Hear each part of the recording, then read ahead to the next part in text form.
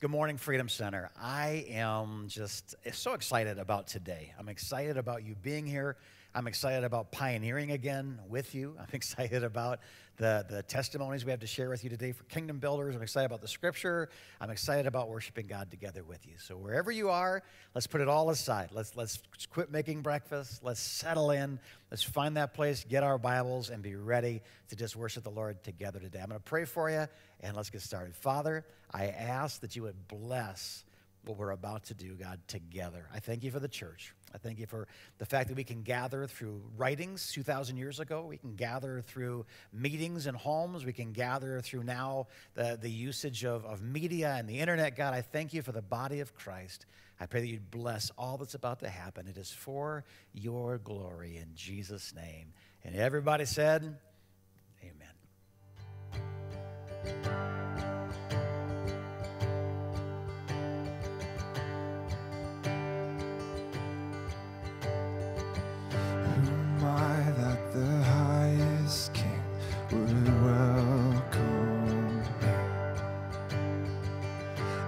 was lost, but he brought me in his love for me. Oh, his love for me. Who the Son sets free, oh, is free indeed. I'm a child of God. Yes, I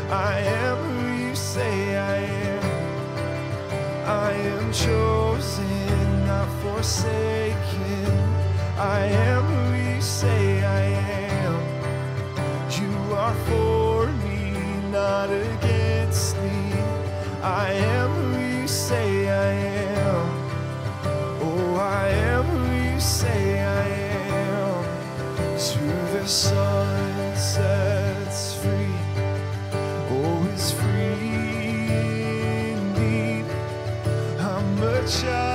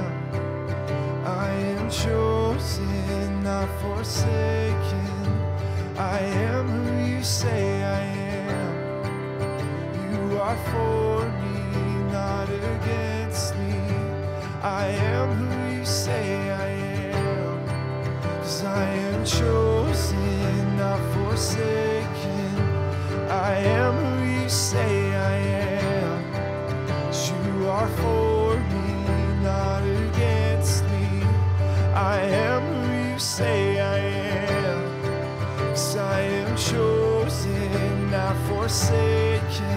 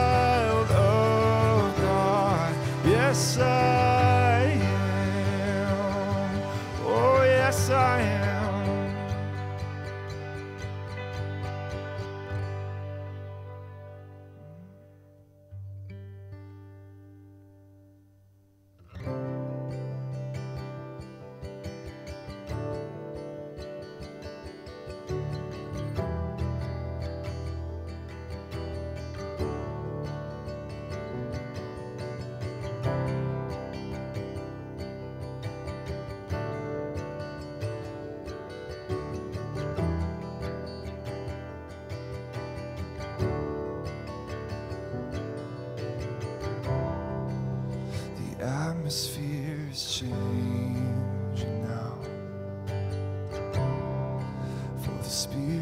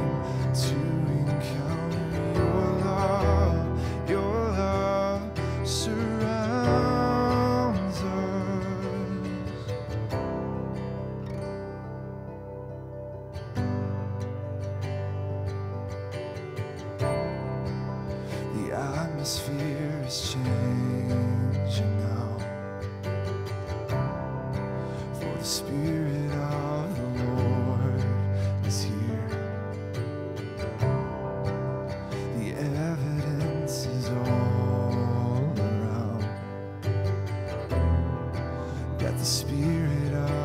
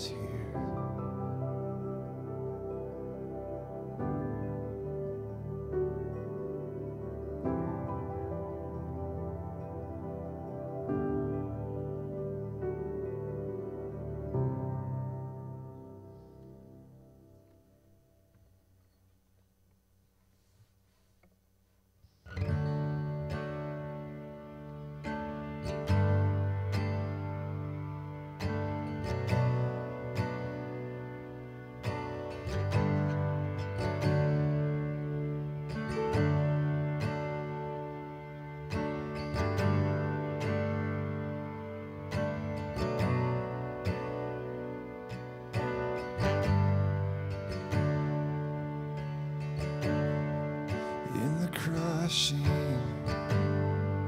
in the pressing. You are making new wine in the soil I now surrender.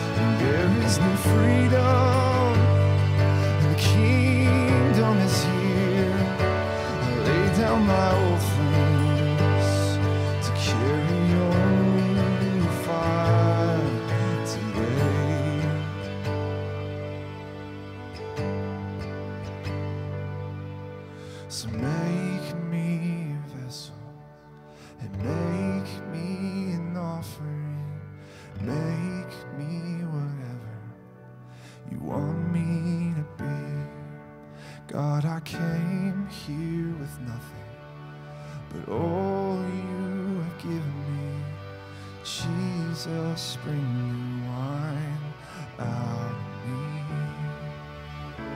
Jesus, bring new wine out of me. Oh, Jesus, bring new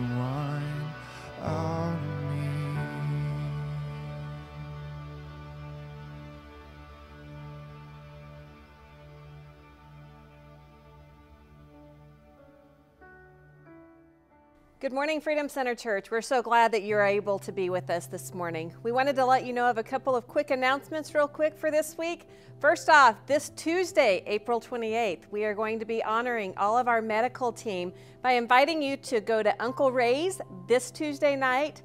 You can go anytime between 2 p.m. and 9 p.m. to receive $5 off of your order. If you are in the medical profession of any way, just pull up, show them your medical ID, and they will be happy to take $5 off of your purchase. It's just our way of saying thank you for all that you're doing. Also, it's almost May, which May around Freedom Center Church means it is time to sign up for a group. I can't believe it's already that time again, so we want to invite all of you right now to go to freedomcenter.church, check out groups, and you can see all that's going to be offered soon coming up in May. You want to get signed up for those. Also, we are just super excited about what God is continuing to use Freedom Center Church to do. If you haven't seen some of the exciting things we're doing, I invite you to go to Freedom Center's Facebook page. You can check it out and just see the exciting things we've done from helping make medical masks to helping with um, feeding children at, at Whaley's Children's Center and the list could just go on and on. And I am just so grateful for having a church that sees the vision to reach the lost at any cost that doesn't cost us our beliefs. So, saying that, I want to remind you guys it's time to honor the Father with our finances. So, there's going to be a link below at the end of service. We don't want you guys to go there right now because if you do, you're going to miss part of Pastor Jim's message. So we want you to stay tuned. At the end, we're going to put the link down there. But we want to thank you guys so much for your generosity. You're making a huge impact in this community, and we thank God for you daily. And I just want to pray for you guys real quick because I don't feel like I get to do that anymore. And I am just so thankful for you thankful for what God's doing and just the ways that He's using us. So, God, I just thank you this morning for Freedom Center Church, God. I thank you for people wherever they are, whether they're sitting in an ambulance right now because they're waiting for a call, Father, or they're sitting in their family room, driving in their car, wherever they would be, God, I pray that they would sense your presence in ways that they've never sensed you before. Father, that they would see your faithfulness in their finances, in their health, God and that they would just point people to you, that they would show you off very well to this community, Father God. And I just thank you again for a people that love you, God. And I thank you for using us to show you off. I pray that you would use us in ways that you see fit this week, God, as we surrender our lives to you. Bless this time of the word, Father. May it just speak to each and every one of us, and we're going to give you all the glory. I want to invite you guys right now, enjoy this Kingdom Builders video.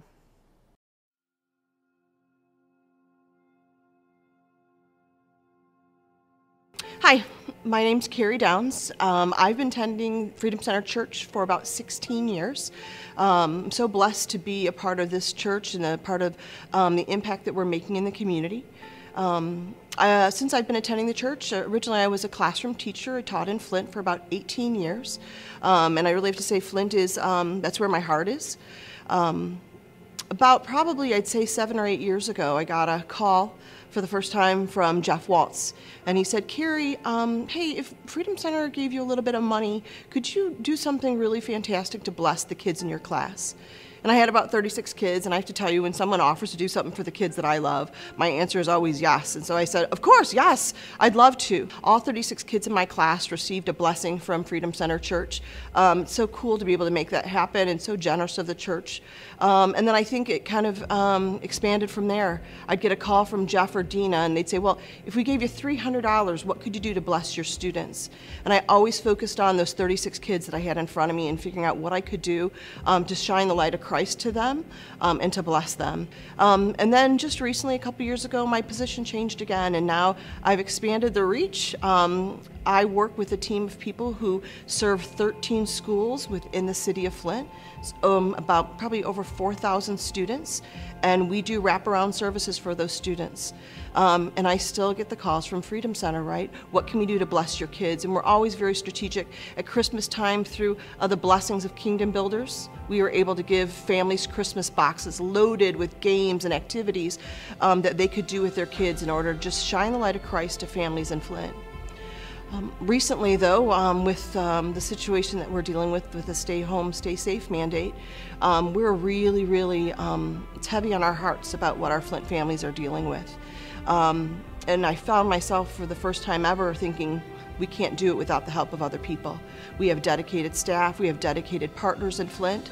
But again, I get a phone call um, from Freedom Center Church through Kingdom Builders, we're able to bless families with things like toilet paper, which I can't tell you, when I look back over the 25 years I've been working in Flint, I never ever imagined that um, I would feel like it's a blessing to deliver toilet paper to people.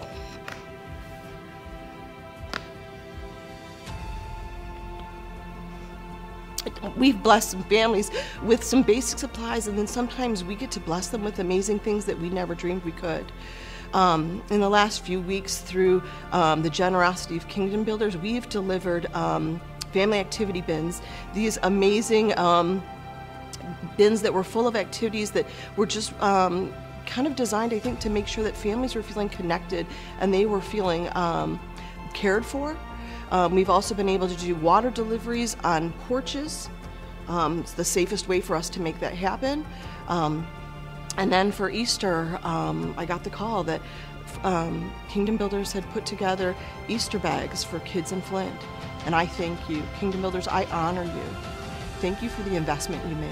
Whether you are regularly making a donation, whether you're keeping your promise to continue to invest in Kingdom Builders, or even in this, in this moment, in this crisis, if you're struggling yourself and your best commitment is to be on your knees in constant prayer for kingdom builders and the investment that we're making, I honor you. We need to do this together, and I am so grateful. I'm so blessed. I'm so honored and privileged to partner with everyone in Kingdom Builders to invest in our own community and invest in the kingdom.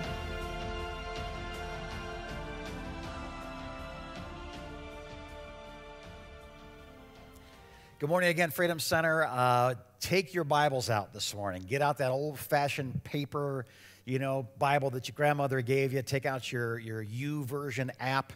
Take out your, uh, you know, whatever you got. Take it out now and open up to, to Galatians chapter 6 and verse 9. We're going to be spending some time there today, and I'm going to, I'm going to try to frame Galatians 6 9, uh, according to what we've kind of already been. So let's, let's continue Church in the Wild now, part five, by going back to part two. Part two, I told you there was something that, that God woke me up, middle of the night, two o'clock in the morning, and maybe, maybe God woke me up, maybe I couldn't sleep, but I, I was awake, and so I thought, you know, I'm going to be awake, I might as well pray.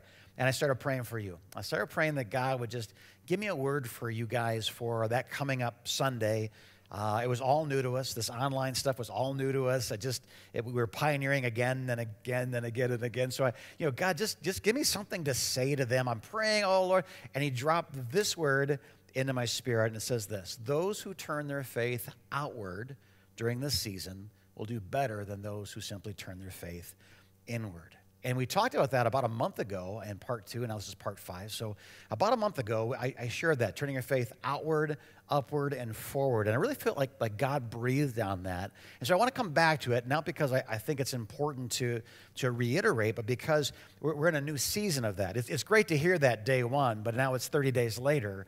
And I, and I want to come back to that because I think by now I'm hearing people saying things like, man, it's, it's getting old, I'm getting frustrated, I'm getting tired, I'm getting desperate.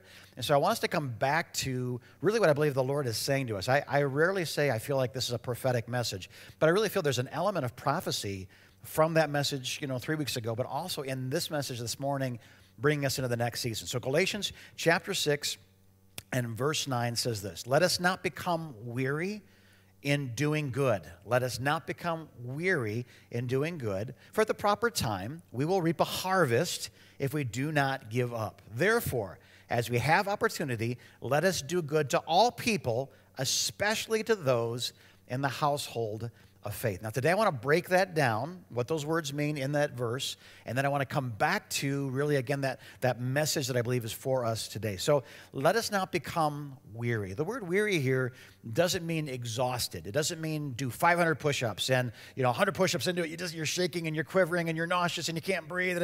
It's not that. It's the weariness that comes from repetition and monotony.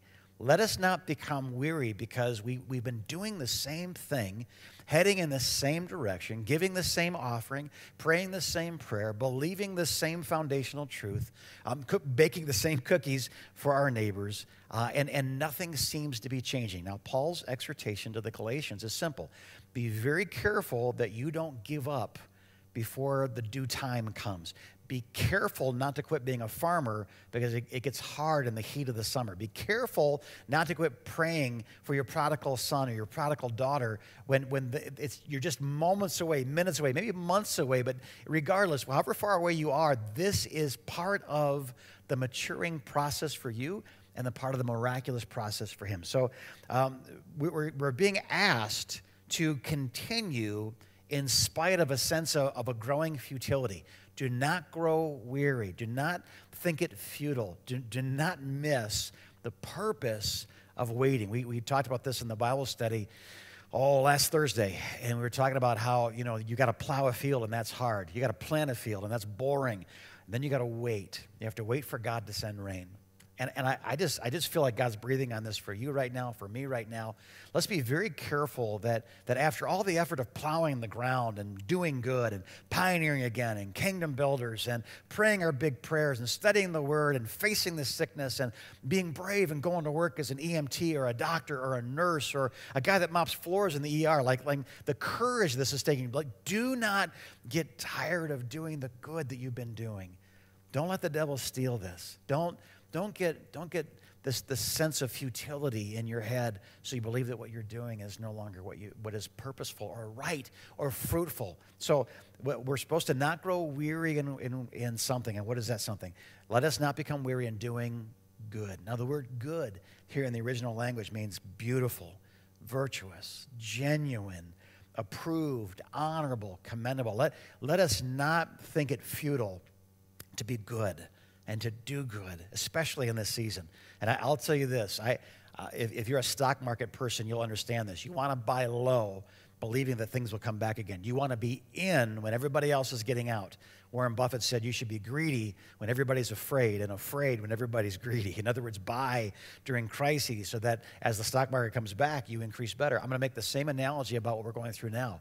I believe that the church being salt and light in this season has a better reward as far as the effectiveness of ministry, the effectiveness of God's kingdom on earth. It, when we're for people and with people and helping people and feeding people and praying big prayers, and eh, it, it matters so much more during a crisis than it would during a, a normal good time, right?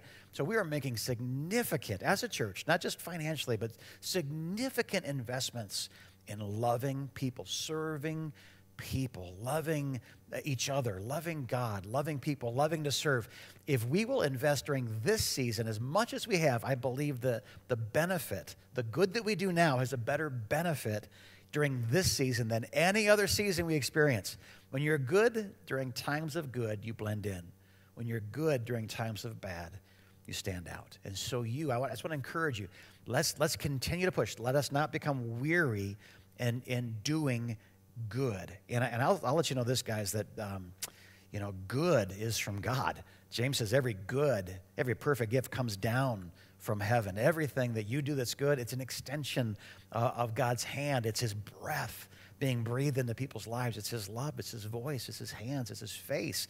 Let us not grow weary in doing good. For the Bible says, at the proper time, the, the, the compound word proper time is, is the, the words idios and uh, kairos. And, and literally what it means is this it means the opportune moment, distinct from the passing of time. Literally, it says, when it's your time.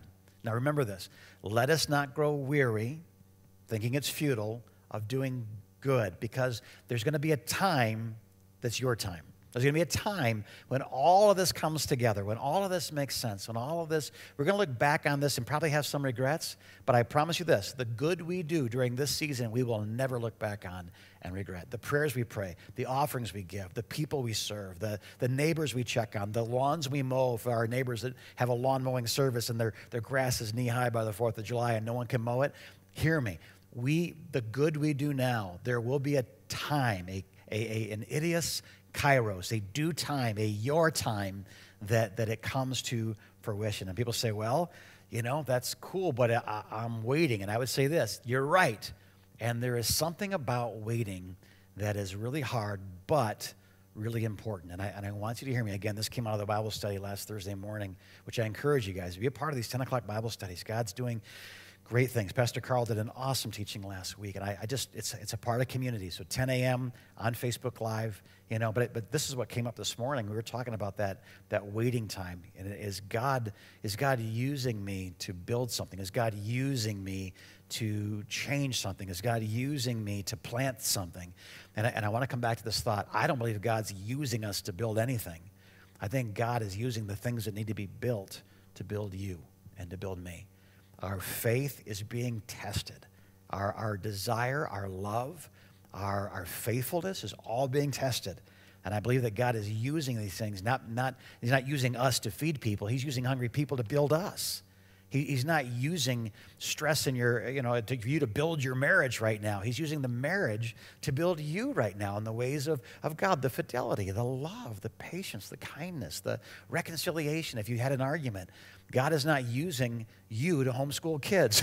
God, God is using homeschool to educate you about what it means to be that engaged in your child's life. Like God is using this, and you realize that. Do you allow the discipline, last week's sermon, the discipline to grow you during this time? Listen, there is a your time that's coming, a, an idios kairos, an opportune time, right?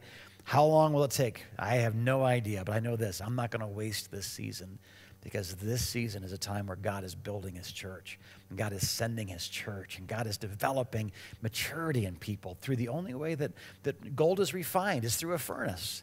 And so if you're in the thick of it today, understand this God has not left you. God is with you. God is carrying you. God is blessing you. Um, a great statement. I forget where I heard it, but the person said the teacher is silent during the test. So even if you feel like God's a long ways from you, understand if God is silent, it's probably a test. Everything that He's taught you up to now is being tested. So there's this fulfillment, there's this harvest that's coming, right? Let us not become weary in doing good, for at the proper time we will reap a harvest. We're going to see a multiplied return. We're going to see what we gave to others being spread amongst others in a multiplied way. I want to give you three power statements, and that's an homage to my friend, Pastor Adam Cook. Three power statements that I want you just to think about as we meditate on Galatians 6, 9, and 10, as you think about your life and what God's doing now, as you need that extra oomph to get you through a tough day. I want you to think about this. Number one is this a seed in the field is greater than a seed in the sack, a seed in the barn, a seed in the silo, a seed in your hand that which is sown in the kingdom, according to kingdom principles, that which is sown, that good deed that is done, is better than the capacity of good deeds undone. The smallest good deed done is greater in capacity, in blessing, in riches, in glory for Christ than the greatest capacity waiting for some other time, right? In the kingdom, wealth is not measured by seeds in our hand, it's measured by seeds in the field. Now, think about it who's better off? The guy that shows you the big pile of seed, a thousand pounds of seed, and goes, That's my seed. Or the guy that shows you a thousand acres that has a thousand pounds of seed sown into it. Who's better off, the guy with a thousand pounds of seed or the thousand acres with the seed sown in it? I, you know this. This is an easy question. It's, it's, actually, it's actually simple. Who's better off, right? The person with the potential to do good or the person that's done good? Obviously, especially in this season. Obviously, especially in this season, the potential to do good is nice. But having done good, having given, having prayed, having blessed, having, having baked, having shared, having encouraged is better than having encouragement.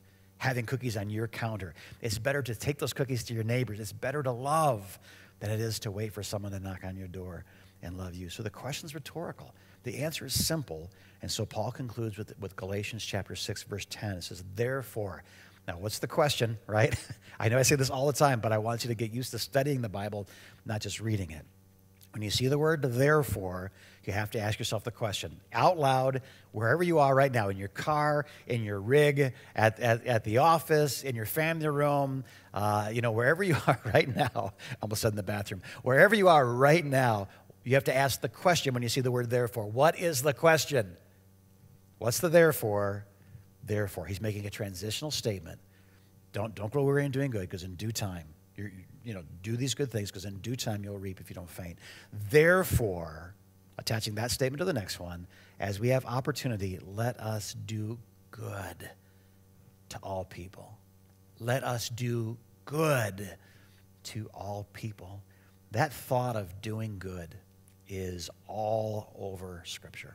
Um, the thought of taking the substance of another world, the substance of heaven, and placing it on this planet through something called good is one of the major themes of the gospel, one of the major themes of the writings of Paul, Peter, James, John. I, am not saying you, if you don't do good, you're going to hell. I'm saying if you're going to heaven, bring some heaven with you to this earth, doing good. Um, Jesus taught this. Matthew chapter 5, verse 16 says, Let your light shine before men in such a way that they see your good works. The Greek word there is ergos, the, the, the, the workings of heaven on earth. Um, let, let your light shine in such a way that they see your, your ergos, your good works but they, in the end, they don't say, You're such a great guy, you're such a great girl. They say, They glorify your Father in heaven. I thank God for the good that you brought into my life, for the cookie, for the lawn mowing, for the medicine, for the phone call, for the, for the friendship, for the encouragement, for the generosity. I thank God. You did it, but I thank God for what you did. Jesus says, Let your light so shine before men that they see your ergos, your good works. And God gets the glory for your good works. Paul taught this in Ephesians chapter 2, verse 10. We are God's workmanship we're created in Christ Jesus to do what? Good works. Good works that God has prepared in advance for us to do. We shouldn't be afraid of taking the risk of doing good works because God has set us up already to succeed, right? Paul taught that, that Jesus was so kind to the individual, to the, to the corporate meeting, to the world, that he actually designated five different giftings and placed them on men's and women's lives. And he said there's the apostles, the prophets, the evangelists, the pastors, the teachers. You know what their job is to do? You know why God gives those gifts to people? It, it says right here, Ephesians chapter 4 and verse 12, to equip God's people for works, ergos, good works, bringing heaven to earth.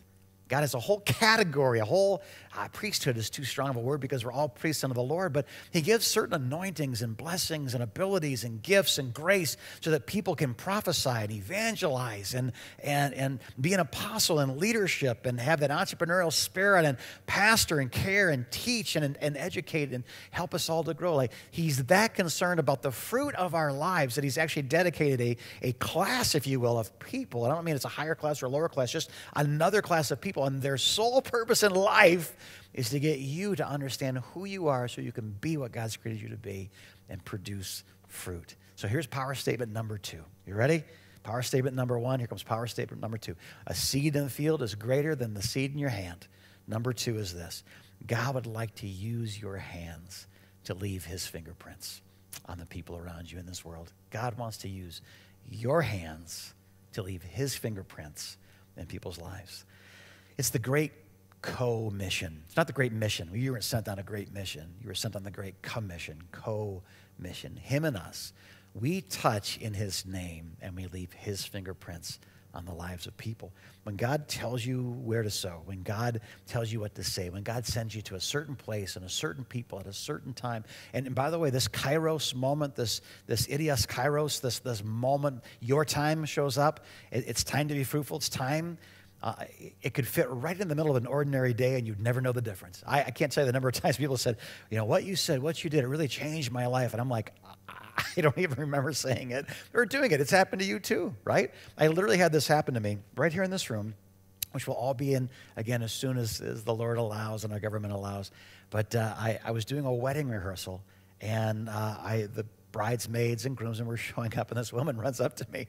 This young lady, she wraps her arms around me. Oh, Pastor Jim, oh, I'm so glad to see you. And the look on my face must have told her, I don't remember you. I don't know who you are. Why are you hugging me? And she said, she caught on. She said, you don't know who I am, do you? And I said, uh, I was busted. And she goes, Oh my gosh, you, you led me to Jesus. My, my, my fiance and I like came to this church, got saved. You baptized me. You did our wedding. right? It was, I was so embarrassed. And she was so hurt that I said these words. I said, You know, one of the symptoms of a, of a closed head injury is short-term memory loss. And she said, and, and I always, after I say that, it's like, you know, I don't have a, a closed head injury, but it is one of the symptoms. But when I said, you know, one of the symptoms of a closed head injury is short-term memory loss, she said, oh. She put her hand on my, on my arm. She said, I'm so sorry. I, I didn't know. And she felt so much better, and I felt so much better. But I, I didn't finish the rest of the joke. so, so, anyway, what I'm saying is this I had no idea that I had affected those lives and that way to the place. I didn't even remember doing a wedding. Now, please hear me. I, I say that because your, your idios kairos moment, you, you may not even know that you rock someone's world, that you were the right person, the right place at the right time with the God stuff. Like, let's just, like, let's look for the opportune moments to arrive, but understanding that a lot of the opportune moments we'll never understand as opportune, maybe until eternity, right? So we leave God's fingerprints. I, that statement came to me you know, um, I was thanking a friend who had helped this church uh, in a very significant way. We were trying to arrange some things financially, government programs and things, and I, I, felt like we weren't getting return phone calls. So I called a friend of mine and I said, Are you having problems? And he said, No, but let me make a phone call. The people that would not return my phone call, and this is, by the way, everybody's busy. This is not to slight anybody. It's not the, the moral of the story is not to demean people who are trying to help us in the, the PPP program and all that kind of stuff. The moral of the story is something very different. He said, Let me make a phone call. Five minutes later, he calls me back. Hey, I've got somebody on the phone. So his influence with the, with the, the SBA approved bank was different than my influence. And when they hung up, and I, he called them back and said, Listen, these people are family. You take care of these people. Uh, they, they, they've done a tremendous uh, amount of business with this bank. And he just, I want you to know, treat them not like normal people. These people are my family. So we, we, were approved for the loan. The money was, was funded and it's forgivable, so we didn't borrow money. We have a government grant and so forth that is now being used to, to free up other monies to bless people. But I called him and he didn't answer. I left a voicemail. I said, I want to say thank you. Um, our friendship means the world to me. And I know that when you extend your reputation into my reputation, that's, that's a, a trust. And I, I want you to know I'm going to work very hard to make sure that you are never embarrassed of our friendship you, you put your name and my name together in a sense. Like, I'm so grateful. And then I ended the phone call by saying this Your, your kindness, your hands have left the fingerprints of God on my heart. And then I hung up and I went, and the Lord just said, Say that again. Your kindness has left the fingerprints of God on my heart. I want, I want you to know something. It was a couple of phone calls for him, but it, it wasn't. It was an idios kairos moment for me. It sealed a friendship. It opened up a door to a tremendous financial blessing so that we can continue to be a tremendous financial blessing. Um, it, it, was a phone call, it was a text, it was an email, it, but it wasn't. It was a partnership that, that was not just my friend, it was our God. It was our Father in heaven blessing me through his kindness, his, his risk of reputation, and joining it with ours when he said to that banker, their family, and you take care of them, we've been treated so wonderfully. And we weren't treated poorly before. We just needed more information. So I don't mean to, again, besmirch anybody.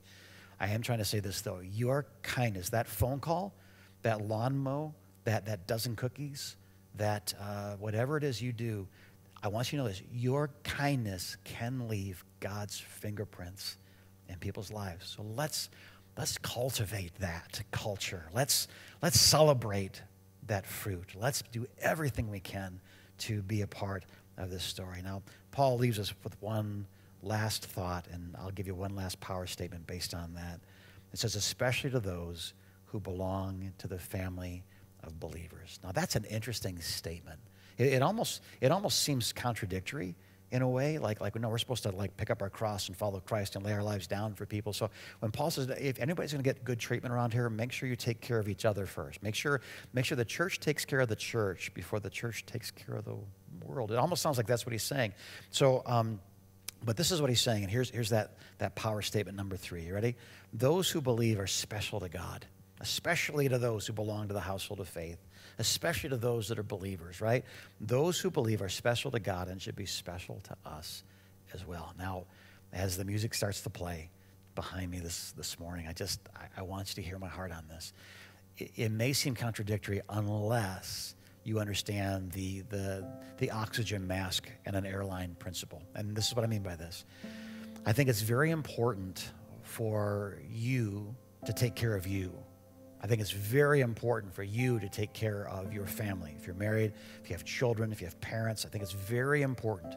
I think it's very important that you take care of the finances, your, your health, uh, your calendar. We've taught on all of this stuff for years, right? I think it's very important. And it's not because God's will in the end is to bless you at the expense of others, it's because it's God's will to bless others through you.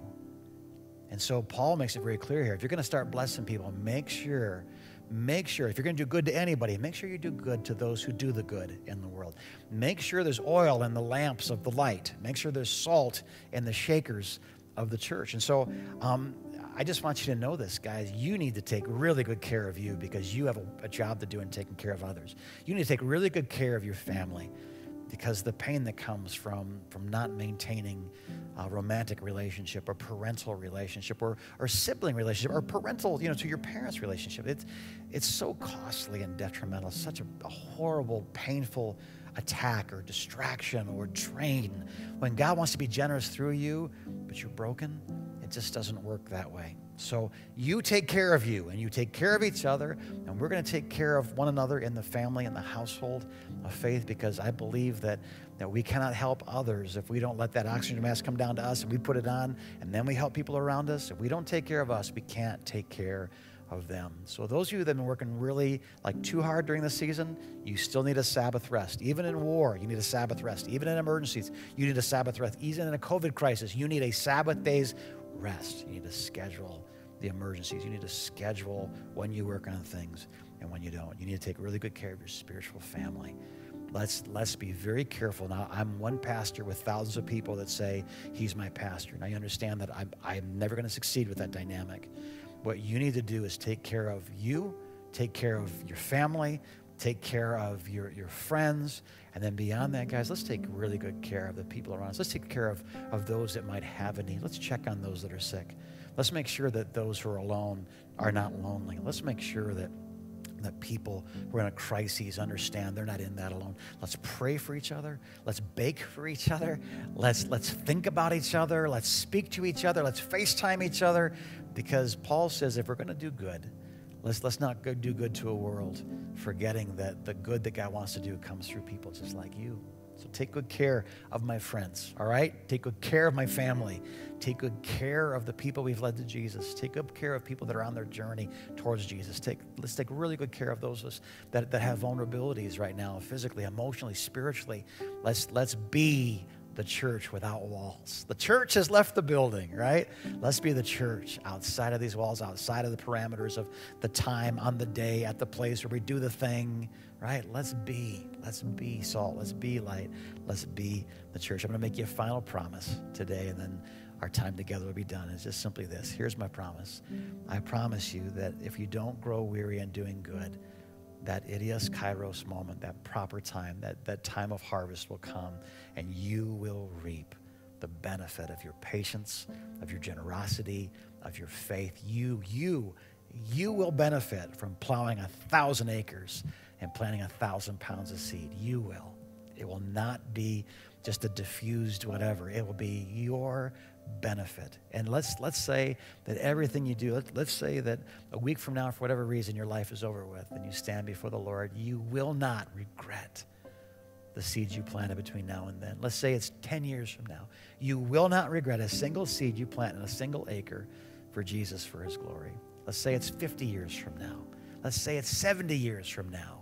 You stand before Jesus, you will not regret not giving up, not feeling like it's, it's futile, doing the good that God wants to bring to this earth, taking care of each other, taking care of yourself, taking care of your family, taking care of the household of faith, you will not regret a single seed planted, a single gift given, a single word spoken, a single good deed done. You will not regret because God will total all of those things up and He will lay a crown upon your head that you will have the, the privilege of laying at His feet. And that is our time for today. I want to just say this one last thing in closing. Maybe today is your idios, kairos moment, your opportune time. Maybe in this moment, the prayers of others and the seeds sown in your life are all coming together. They've been watered. And today you're like, man, I, I need more than just a church relationship. I need a God relationship. I, I need Him, not just it or that or them. I need Jesus. Let me just tell you in the next 90 seconds what you need to know. God loves you so much. And right now, wherever you are, I want you just to start praying like God would just penetrate people's hearts in this moment. Let's all work together. Let's all pray together right now. I believe that God loves you so much that he sent his son Jesus to pay a price that you and I couldn't pay. Jesus lived where we live and he died for the purpose of, of paying a price that I'd run up a tally of my misdeeds, my, my untruths, my sin that I couldn't pay for. I, I would have to be executed for my sin. And Jesus said, I will take Jim's execution for him. That's why he's crucified.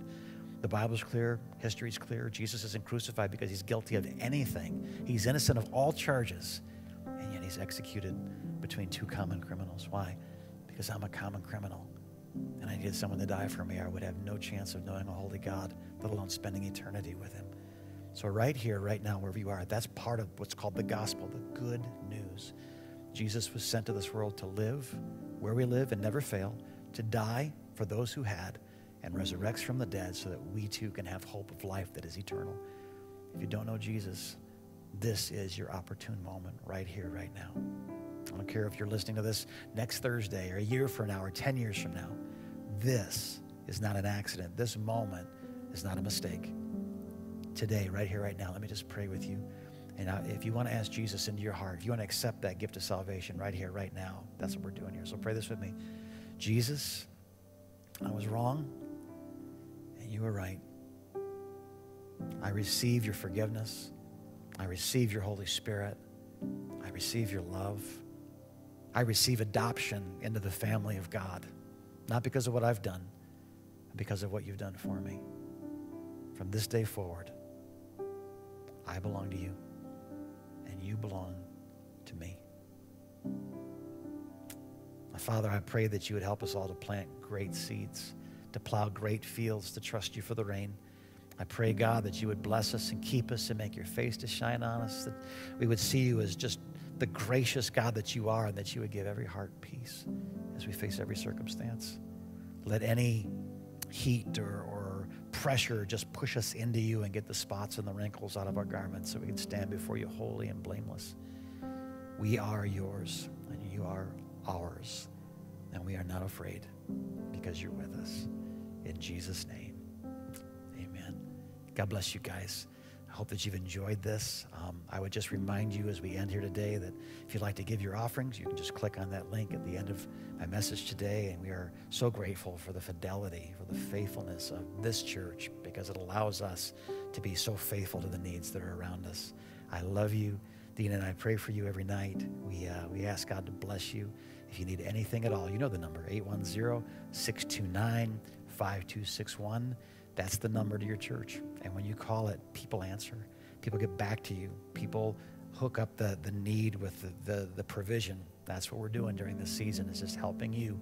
And so if you need anything at all, you got something to give, you got something you need, don't be shy. Let's, let's be the church. Do good to all people, especially to those who belong to the household of faith. I love you, and we'll see you soon.